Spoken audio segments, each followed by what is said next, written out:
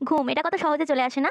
পড়তে বসলেই আমাদের ঘুম চলে আসে চোখের মধ্যে। তো আমি তিনটে মানে তিনটে টিপস তোমাদেরকে বলব যে কীভাবে তোমরা পড়তে বসলে ঘুমটা যাতে না আসে বা ঘুমটাতে দূর করবে কি করে। প্রথমেই বলি যখন পড়তে বসবে সব সময় কিন্তু যে টপিকটা তোমার ভালো লাগবে, সেই টপিকটা নিয়ে যখন ঘুম পাবে তখন কিন্তু পড়তে হবে। তুমি যদি ইন্টারেস্ট না পাও সেই টপিকে তাহলে কিন্তু তোমার ঘুম অবশ্যই চলে আসবে। আর যে টপিকটা তোমার খুব কঠিন লাগে, যে সাবজেক্টটা সাপোজ ধরো কারণ অ্যানাটমি ফিজিওলজি মেড সার্চ আর হচ্ছে তোমার ইংলিশ এই তিনটে সাবজেক্ট আছে। তো তার যদি অ্যানাটমি ফিজিওলজি সবচেয়ে বেশি টাফ লাগে, তখন কিন্তু আমার অ্যানাটমি ফিজিওলজিটা একদম ফার্স্ট মর্নিংয়ে আমাকে পড়তে হবে।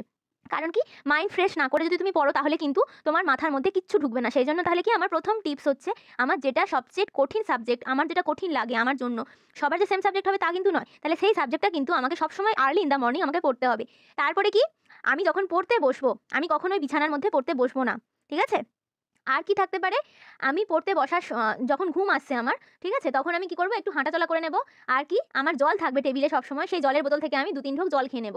জল খেলে কি হয়? আমার মাইন্ডটা ডাইভার্ট হয়ে যায়, ঠিক আছে? তখন ঘুমটা কিন্তু চলে যায়।